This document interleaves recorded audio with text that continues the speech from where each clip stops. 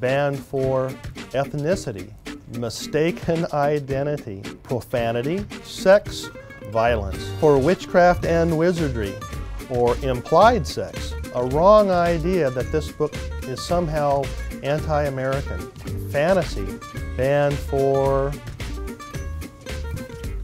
let's see, what else? In general, it's sex, language, and violence. Uh, and in that order, I, I, would have to say. This is about uh, the awakening of a young woman as she starts to reach her adolescent years, and that includes uh, sexual awareness, identity awareness, ethnic awareness, banned for those reasons.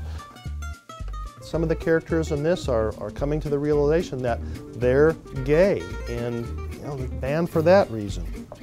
It's not language, it's not violence, once again it's sex. And in this case it's just for one word, uh, a word that has to do with sex, but it doesn't even happen in this book.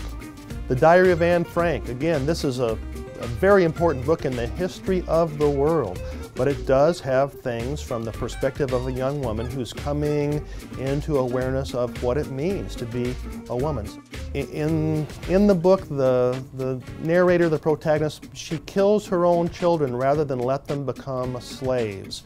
And the message there should be, well, how, how awful must slavery be then? But it's, it's banned for, for that reason.